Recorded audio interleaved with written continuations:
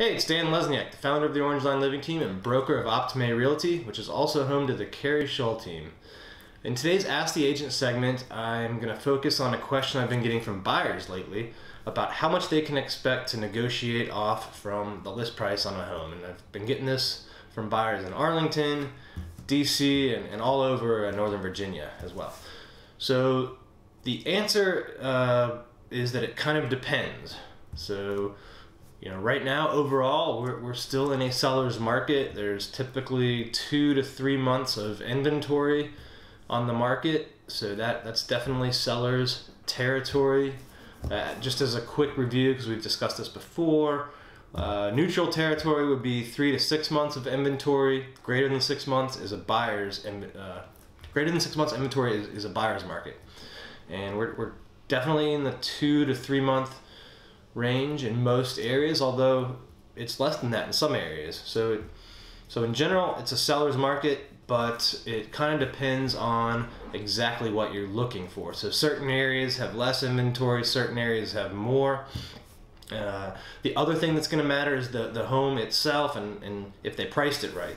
So there's a lot of agents out there that will overprice homes, and even in the seller's market, those will still sit so if you've seen a home that's been on the market for over 15 days, uh, definitely over 30 days, there's going to be some room to negotiate on those. Sometimes three, four uh, percent, maybe even a little bit more. So it, it, does depend on how motivated the seller is. If it's if the home's been on the market for less than two weeks uh, in our area, we're typically not seeing a ton of room.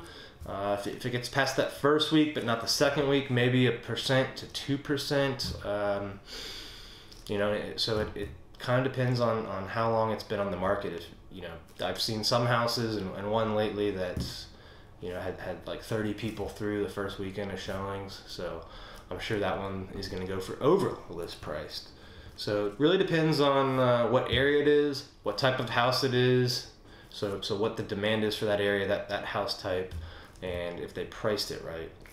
Um, it can also vary if it's new construction or not. So a lot of times new construction uh, sellers or, or their agents will negotiate even if it's not apparent uh, by the closed list prices and the tax records. So a lot of times those sellers will give you closing cost credit, extra upgrades, pay for condo fees, you know, other things that are sort of hidden from the actual sales price in the tax record. And we've got a lot of experience working with buyers and helping them get the best deals in new construction developments and, and homes around the area.